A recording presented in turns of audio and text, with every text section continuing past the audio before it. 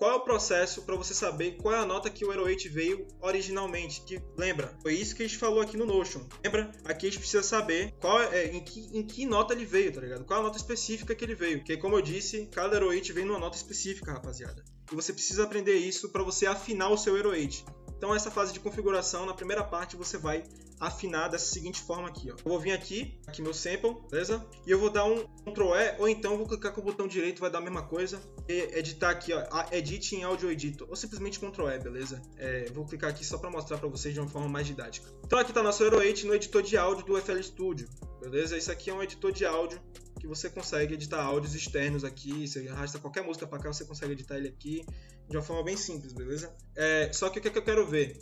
Eu vou dar play, tá aqui, nosso 8, e o que é que eu vou fazer, mano? Para eu detectar a nota que ele tá tocando, ele tem esse editor de áudio, ele tem um, um, próprio detector de notas, beleza? Eu vou até maximizar aqui. Quando você maximizar ele, você vai ver que tem esse menuzinho aqui, ó. Você vai clicar nisso aqui, tipo nessa pinça aqui, e você vai clicar em Detect Pitch Radius. Eu não, não vou clicar aqui, ó, Detect Pitch Regions. Isso é muito importante, mano.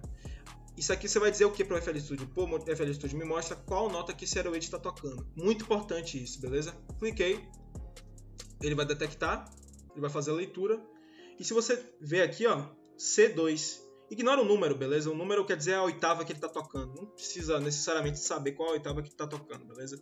O importante é você saber que ele está em Dó. Suavão?